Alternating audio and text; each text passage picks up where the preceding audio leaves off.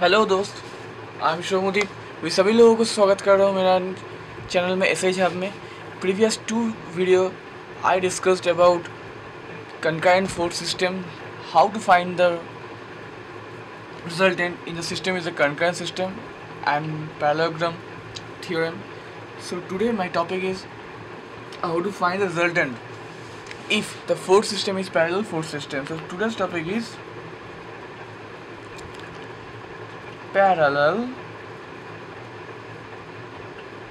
force system. Parallel force system is means if this is a reference point x o x dash and y y y dash then either this kind of force should be there if this kind force of should be there okay? So how to find? How to find? Suppose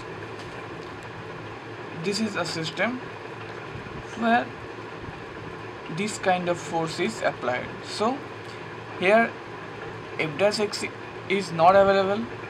So we cannot find f dash x. Just find summation fy equal to 0 so we find a relation and number 2 we taking moment about any point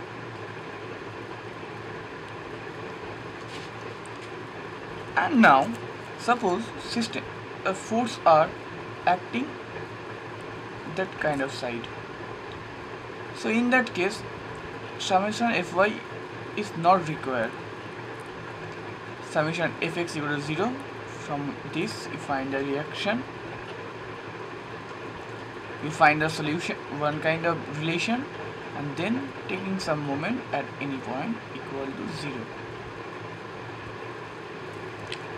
so this is the procedure to find resultant of force in the parallel force system.